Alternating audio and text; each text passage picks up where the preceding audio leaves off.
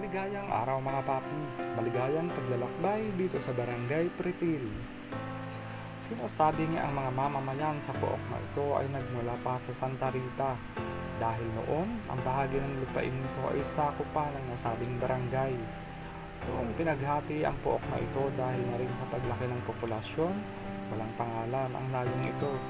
Samantala, noong panahong iyon, nagtayo ang mga Kastila ng pamigil na daloy ng tubig na nagmumula sa mga batis. Kilala ito sa tawag na pretil.